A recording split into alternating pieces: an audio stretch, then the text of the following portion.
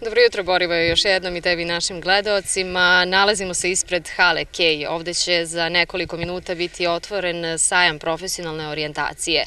Učenici završnog razreda osnovnih škola nalaze se na prvoj životnoj prekretnici. Biraju buduće zanimanje, odnosno smer daljeg formalnog obrazovanja, odabirom srednje škole koju žele da upišu. Sajam profesionalne orijentacije prilika je da dobiju sve relevantne informacije kako bi lakše doneli tu odluku.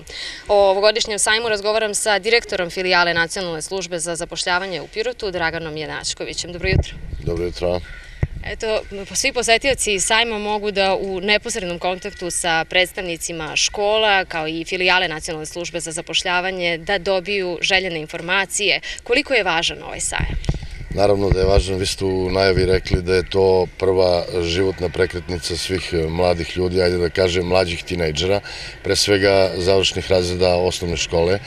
Dakle, ovo je tačka ovaj, od koje će morati da počnu da razmišljaju o svom životu, o budućem zanimanju, o onome šta žele da rade, o budućem ovaj, nastavku školovanja i na kraju krajeva generalno da li će biti srećni sutra, da li mogu da formiraju svoju porodicu nakon završene srednje škole ili fakulteta, da li mogu da se zaposle, sve te informacije će dobiti i od nacionalne službe za zapošljavanje koje će imati ovde štandi, koja je organizator zajedno sa predstavnicima pre svega srednjih škola sa područja okruga Pirot, ali na sajmu će pored svih srednjih škola na području okruga učestvovati i dve visoke škole, to je visoka škola poslovnih studija Blace sa ispostavom u Dimitrovadu i visoka tehnička škola iz Niša.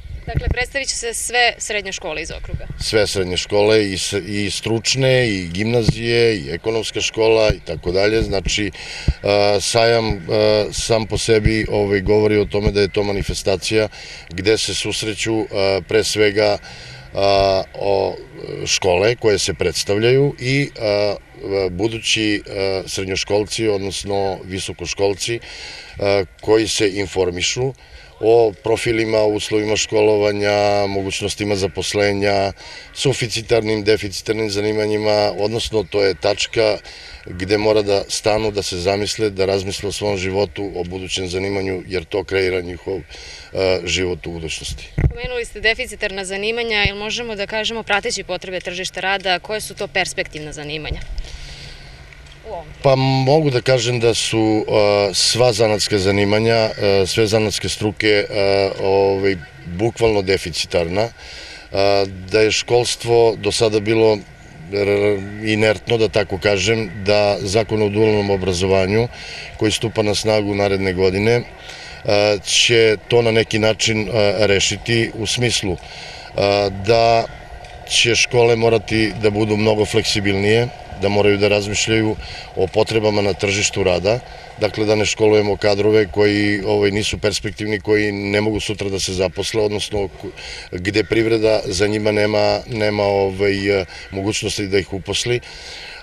To dodatno naravno može da košta ovaj, državu s obzirom da nakon formalnog obrazovanja mi bukvalno pravimo prekvalifikacije, dokvalifikacije kroz neformalno obrazovanje što duplo košta tako da nadam se da će e, u narednim godinama ovaj, sve mnogo bolje funkcionisati i to je naravno dobro i za državu i za ovaj, e, buduće mlade ljude ovaj, da se uposle i to je to. Koji su to radnici najtraženiji trenutno kada govorimo o Pirotu i Pirotskom okru? Rekao sam, e, sva zanatska zanimanja trenutno su aktuelni šivači, konfekcioneri, s obzirom na veliko interesovanje e, sadašnjih i budućih investitora u tekstilnoj industriji, ali naravno, takođe će biti deficitarna zanimanja i u metalskoj struci, počevo od zavarivača, limara, metalostrugara i tako dalje, sve više se traži.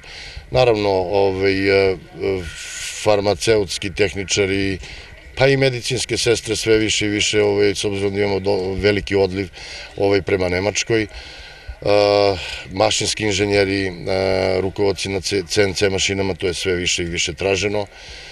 Tako da generalno, kažem, ovaj, uh, srednje stručne spreme u narednom periodu moraju da razmišljaju ovaj, da se školuju kadrovi, pre svega zanatskih struka koji će ovaj, odgovoriti potrebama privrede. Još samo da kažemo koliko je trenutno prema evidenciji filijale nezaposlenih na teritoriji Pirotskog okruga? Na teritoriji Pirotskog okruga negde oko 10.600, u Pirotu negde oko 6.300 nezaposlenih lica.